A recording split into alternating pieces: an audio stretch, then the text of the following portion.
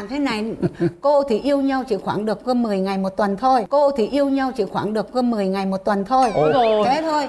Siêu nhanh ạ. Ờ, không nói chung là không yêu. Cũng không có nói yêu gì luôn á. Ờ, Cưới mới yêu. là bố mẹ mới vào đặt là cái là bảo mùng hai à, đám hỏi. Ồ. ờ, Ôi, siêu nhanh. mùng hai đám hỏi thì 12 uh, mùng mùng 8 cưới gì đó. Ôi dồi. nhưng mà chú này đi ra trạm về chú bị sốt rét Ồ. chú sốt rét xong là ừ, cái cái cuộc mà mà ăn hỏi mới cưới là hoãn lại lùi lại.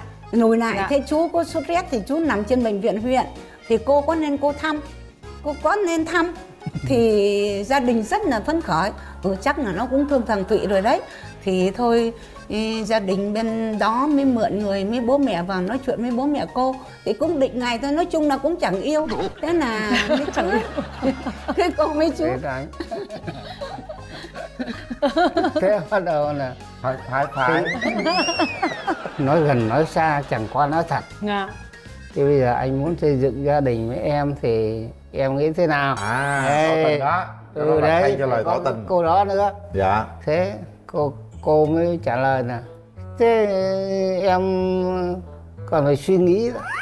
ừ, em còn phải suy đúng nghĩ. rồi cô cũng có nói là Ừ, để em suy ừ, nghĩ thì ừ, vài ngày ừ, em trả đấy. lời Ừ, Thế- tuần một tuần cô trả Ừ, lời. thế bắt đầu chú mới nói bảo anh về phép có một tháng mà hôm nay phép đã hơn 20 ngày rồi. Thế thì bây giờ em vợ còn suy nghĩ không biết suy nghĩ đến bao giờ. Thế tối nay được không? Tối nay ờ ờ, buổi tối. Tối nay chiều. cho bố mẹ ờ, vào được chưa ờ, đó? Ôi ừ.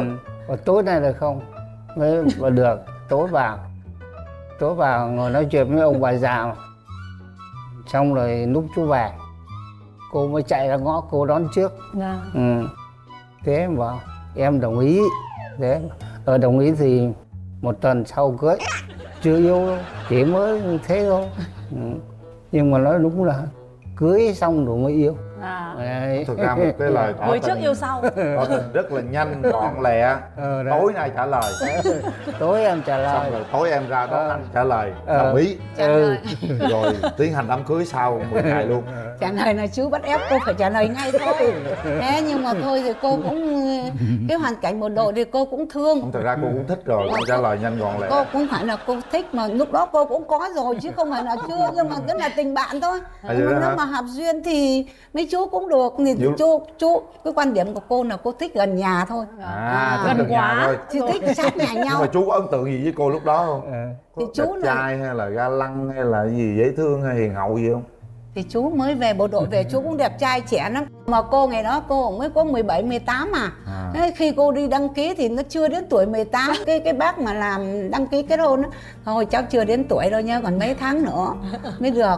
Mà đi đăng ký là cô với chú cũng không đi gần nhau đâu Dạ. cũng phải đi trước đi sau chứ không được gần nhau đâu. Bộ đội ngày đó nhát lắm mà cô ngày đó cũng nhát lắm. À, à, chứ không đăng có ký kết hôn Thì cái khi lúc- chưa tròn 18 luôn. Trời. Đó thế lúc đó là cô bác ấy đùa cô là gây khó khăn thôi chứ cô cũng 18 tuổi rồi. Thì cô học thiếu, thiếu mấy tháng đúng không? Ờ, cô học với con của của bác đó. À. thì cô vẫn xuống nhà bác chơi thế bảo sao?